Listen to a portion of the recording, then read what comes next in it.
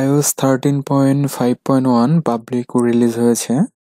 তো এই ভার্সনে কি কি আপডেট ফিচারগুলো আছে, সেগুলো আমরা দেখব। তো প্রথমে আমরা যদি আমাদের ফোনের সেটিং স্টেপ করি দেন স্ক্রল করে আমরা নিচে আসার পরে জেনারেল ট্যাপ করব দেন সফটওয়্যার আপডেট তাহলে আমরা একটি নোটিফিকেশন এখানে পেয়ে যাচ্ছি, iOS thirteen point five point one এবং এটির ফাইল সাইজ হচ্ছে সেভেন্টি টু মেগাবাইট এটি কিন্তু ফোন ভেদে ভিন্ন রকম হতে পারে, ঠিক আছে? এবং এই iOS thirteen point five point one কিন্তু আইফোন সিক্স থেকে শুরু করে এখন অবধি পর্যন্ত যতগুলো আইফোন বাজারে আছে, সবগুলোতেই কিন্তু সাপোর্ট করবে, ঠিক আছে?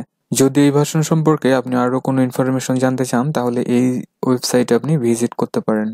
তো এখন আমরা আমাদের ফোনটিকে আপডেট করেই আবার ফিরবো। তো এই জন্য ডাউনলোড অ্যান্ড ইনস্টলে ট্যাপ করতে হবে।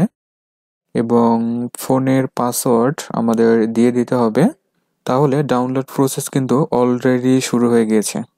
তো ডাউনলোড পরেই আমরা আবার ফিরে আসব আমাদের মূল ভিডিওতে। ঠিক আছে?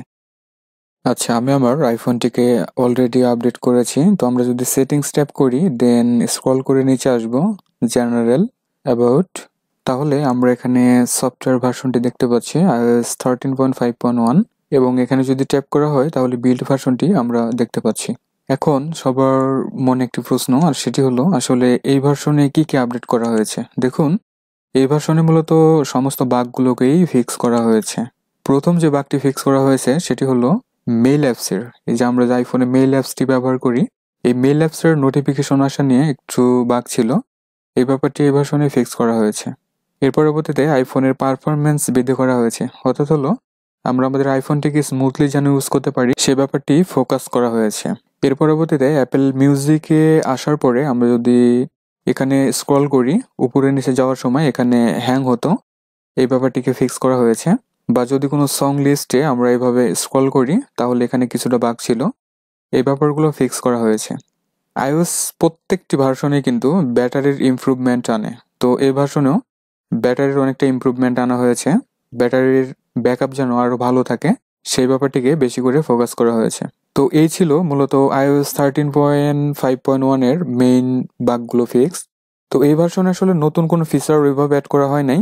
মেনলি ফোকাস করা হয়েছে বাগগুলোকে। অর্থাৎ পূর্বের ভার্সনে যে সমস্ত বাগগুলো ছিল ছোটোখাটো, সেগুলোকে মূলত ফিক্স করা হয়েছে।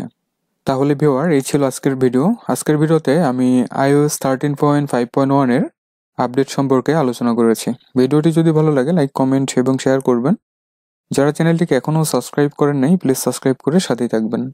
এবং আইফোনের নতুন নতুন আপডেটগুলো পাওয়ার জন্য এবং টিপস অ্যান্ড ট্রিক্স পাওয়ার জন্য চ্যানেলের যে নোটিফিকেশন বেল আছে, অবশ্যই সেটিকে প্রেস করে অল করে দিয়ে রাখতে হবে। সবাই ভালো থাকুন, সুস্থ থাকুন। Thanks for watching